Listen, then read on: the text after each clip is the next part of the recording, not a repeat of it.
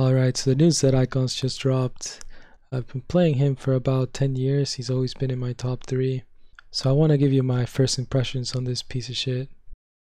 So to me, the old icons tell you a lot more. They're a lot more detailed and to the point. One of the things that the new icons does well, for example in Q and in E, is that they give you a sense of motion.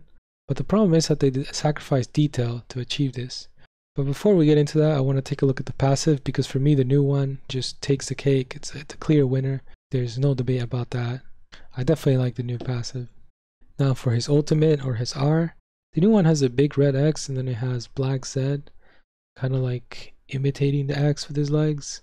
And then you have the random soldier from the exhaust icon in there. So it's basically just an X for death mark. But the problem is that the old icon also makes an X. You have three blades from Zed and his shadows, and this just straight up draws an X by crossing them. And the thing this makes me think of too is, you know, when Zed presses R, there's three shadows converging on the target when he's landing. Or maybe it's like one Z plus two shadows, but there's still basically like three Zs converging on the one target. So I see the old icon and instantly like it comes to my head, oh, I can see the animation in my head. You know, Zed does the laughter, ha ha ha, and then he like converges on the target. So if we compare the old R to the new R, they both show an X, but the old one also tells you about the three shadows converging on the target. So it feels like a 2 for 1, whereas to the new R it feels like a 1 for 1. The old one is also a lot more detailed because you get to see the blades up close. Like I look at the new R and I'm like, why the fuck is the exhaust guy there? You know, like uh, like what like what why is he there? Like and I think he's just there because it, like if they take him out, it, it looks so empty. It looks so unimpressive because there's not a lot going on. It's just an X and Z is completely black. There's no detail there. Now let's move on to the W. This is kind of a quick one because the new W is pretty hard to see. I mean, you could pretty much slice the image diagonally in half and the bottom left part of it, you could completely just replace it with like a, a black triangle and the image would be the same. They kind of just wasted half the icon for no reason. It's just kind of hard to see, but you can tell it's like an animated shadow. But then you look at the old W and it's like, oh, that's two halves of the same guy. It's like, oh, the, the original and then his shadow. And then on top of that, you get the sense that like, oh, this is like, you know, in and out the same person. Like it kind of tells you too that you can swap between each side. It's like two sides of the same coin, same person, different views, different filters, you know. It gives you that idea of swapping. So this one's kind of a two for one as well. Uh, you can see it a lot more clearer. It's more clear because the new one is really hard to see, but it also tells you about the swappability, hence the 2 for 1. Now let's move on to the E. So the thing that the new E does well is that it gives you a sense of motion.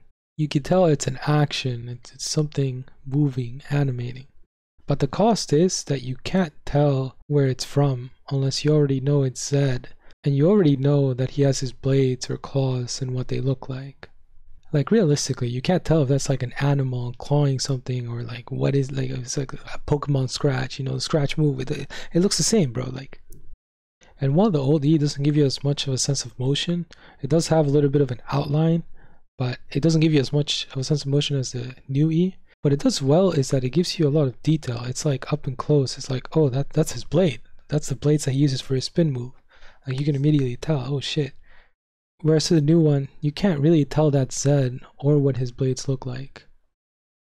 Alright, so last up is the Q. So I'm actually, I mean, the Q is pretty hard to fuck up to be honest.